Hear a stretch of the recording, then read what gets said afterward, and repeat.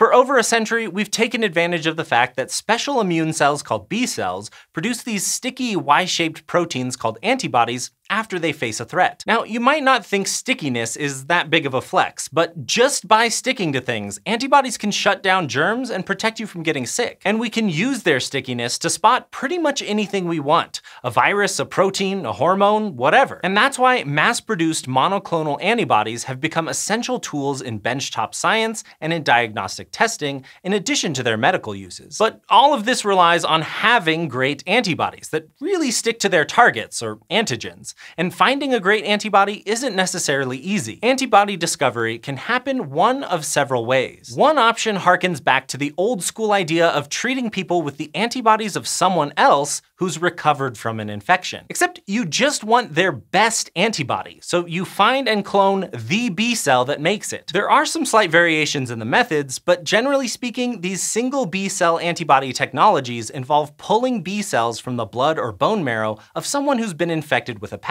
Then you sort through them to find the one that sticks the best. Scientists don't talk about stickiness though. They call the strength of the interaction between an antibody and its antigen its affinity. And once a high affinity B cell cell is isolated, researchers can paste its antibody-making genes into cells that replicate really, really quickly. This allows them to make tons and tons of copies of that antibody. And all of that can be done pretty quickly with a limited amount of antigen, which makes it a great technology to use when you want antibodies for emerging infections, like say for COVID-19. It's also been used to develop drugs for other viruses, including SARS and H1N1, but it's not perfect. One of the biggest downsides is that you're relying on a person making good antibodies, which doesn't always happen. Plus, somebody has to get sick, which is why, even to this day, a lot of monoclonal antibody drugs are actually developed in mice. Modern day mouse methods for producing antibodies are surprisingly similar to what doctors did 100 years ago to make the first antitoxins and antivenoms. You inject a pathogen or toxin into a mouse and wait for it to produce antibodies.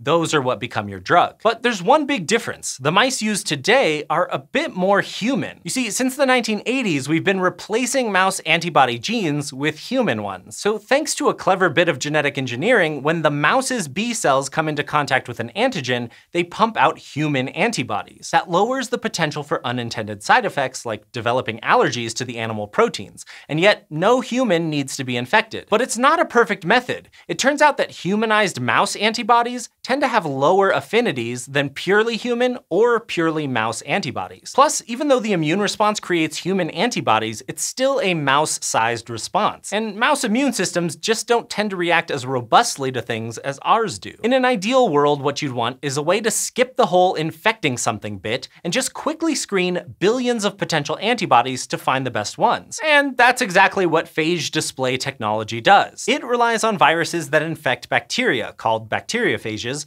hence the phage part. The display bit refers to the fact that researchers insert the gene for the sticky ends of antibodies into the genetic code for the phage's outer coat. That way they're built into the outside or displayed on the phage, where they can stick to potential antigens. And it turns out we already have billions of different antibody genes that scientists can plug into this system. Researchers have gone through and sequenced tons of B cells from people to create these giant libraries of potential antibodies, and they continue to add more sequences all the time. So the idea here is that you create these billions of different viruses and then you add them all to dishes with the antigen of interest. Then you rinse. The phages with high affinity will grab on and hold tight so they'll stay in the dish, while any that didn't stick will get washed away. This process can then be repeated over and over again until you get the very best antibody. And finally, you take the ones that did stick and you give them bacteria to infect. And like all viruses do, they make copies of themselves. So you end up with enough genetic material to sequence. Then all you have to do is put the awesome antibody gene into some kind of cellular production system and you've got your super potent drug, with no animals harmed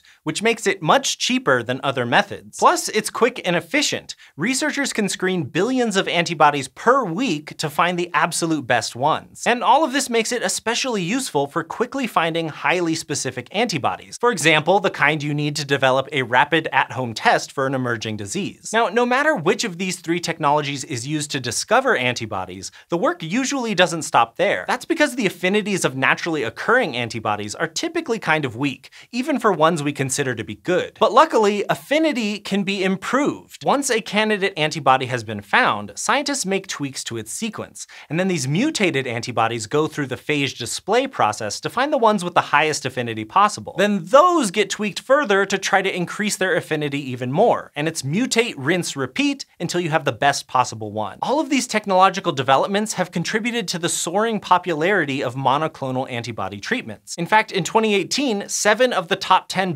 best-selling drugs were monoclonal antibodies. We're talking more than $122 billion in sales. But science is always trying to make drugs better, and antibodies are no exception. If you want to hear more about the incredible future of antibody technologies, well, the bad news is there wasn't enough time for that in this episode. But the good news is that we'll talk all about it in the next episode. You see, this was part two of our three-part miniseries on antibodies. The link to part one is in the description, and you can come back tomorrow for the stunning conclusion.